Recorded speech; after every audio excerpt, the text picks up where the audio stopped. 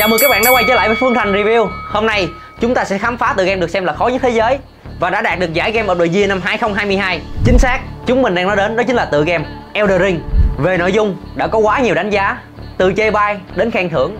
Nhưng bạn có biết để có thể chiến mượt tựa game này ở mức độ hỏa max setting Thì cần một cấu hình như thế nào chưa? Nếu chưa biết hãy cùng mình khám phá trong video này nhé. Về phía nhà phát hành Họ yêu cầu người chơi cần đáp ứng cấu hình tối thiểu như chip Intel Core i5 8400 hoặc AMD Ryzen 3 3300X cùng card đồ họa Nvidia GTX 10603GB hoặc AMD RX 814GB. Nhưng để chơi game một cách mượt mà và ổn định hơn, From Software đã đưa ra lời khuyên cho con chip Intel Core i7 8700K hoặc AMD Ryzen 5 3600X cũng như card đồ họa Nvidia GTX 10708 8GB hoặc AMD Radeon RX Vega 56 8GB sẽ là cấu hình bạn có thể chơi game một cách mượt mà nhất. Dựa vào những gợi ý trên, hôm nay chúng mình sẽ mang đến cho các bạn một máy cực kỳ chiến cực kỳ mạnh để có thể chinh phục tựa game này. Ở đây mình có chip Intel Core i7 13700K card đồ họa RTX 3070 Ti và cặp RAM 32GB Vậy là chỉ với 30 triệu thế giới The Land Between đã nằm gọn trong tay bạn rồi đó. Được rồi, cùng mình hoàn thành bộ máy nha. Thú thật, mình đã chơi nhưng vẫn chưa thể chiến thắng. Bởi khi bạn bước vào thế giới của Elden Ring Một sai lầm nhỏ cũng khiến hành trình quay trở về điểm xuất phát. Đúng với cái danh game khó nhất thế giới Mình đã chết rất nhiều lần. Điều này khiến mình nổi nóng. Nhưng mình chợt nhớ về một cái này.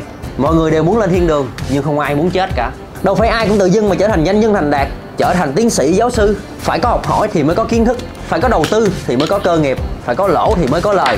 Đó là điều đơn giản, trên đời ai cũng phải trải qua. Tuy nhiên, trong cuộc sống phải đấu tranh suy nghĩ nhiều hơn, phải sáng suốt để vận dụng thất bại làm bàn đạp thành công. Đôi khi thất bại sẽ là dấu chấm hết. Còn trong game khi bạn nằm xuống ở đâu, chỉ cần rút được kinh nghiệm từ chỗ đó, sớm muộn cũng sẽ đến đích và chiến thắng. Vậy nên, mình học được cách nhẫn nại, cách khắc phục khuyết điểm của bản thân mình. Đây cũng là một trong những game vừa chơi vừa rèn luyện bản thân khá tốt và hiệu quả. Thế nên dù thua rất nhiều nhưng mình không bỏ cuộc. Còn bạn nào thắng được game rồi thì comment bên dưới cho mình biết nhé. Giờ thì chiến game nào? Mình sẽ vào phần setting, setting game lên mức độ hỏa cao nhất nha anh em.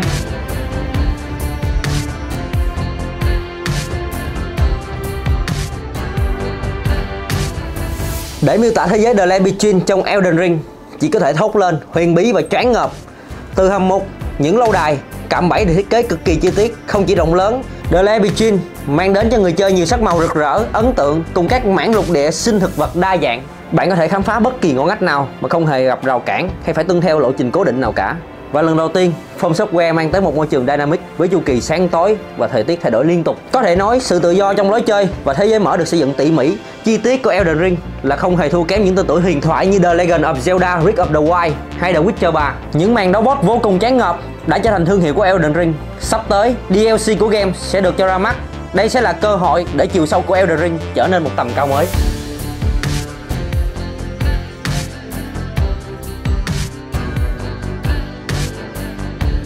Vậy là chúng mình đã test xong tựa game Elden Ring. Nếu thông tin hữu ích, hãy like video, subscribe kênh, ấn vào chuông thông báo ngay bên cạnh để không bỏ lỡ bất kỳ video nào từ chúng mình. Phương Thành Review. Hẹn gặp các bạn ở những video tiếp theo.